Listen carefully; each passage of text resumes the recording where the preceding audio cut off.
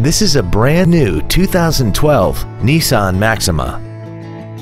This four-door sedan has a continuously variable transmission and a six-cylinder engine. Features include a low tire pressure indicator, a power passenger seat, cruise control, a CD player, privacy glass, stability control, an anti-lock braking system, dual airbags, air conditioning, and keyless ignition. Call or visit us right now and arrange your test drive today.